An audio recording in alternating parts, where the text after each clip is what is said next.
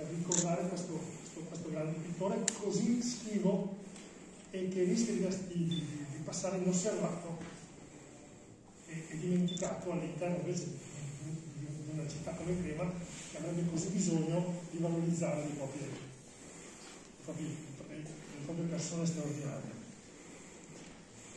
Considerate, poi rispondiamo là ribadisco quello che hai detto tu, quello che hai detto Cesare, eh, ti ringrazio, saluto.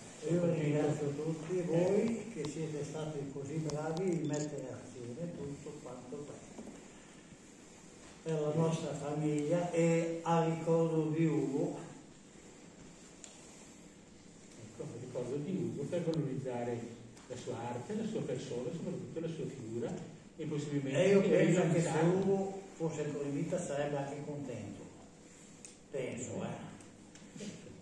Anche se uno era un tipo che non ha mai voluto mettersi in mostra o dire io sono qui o sono là. È stato una persona sempre ottimista.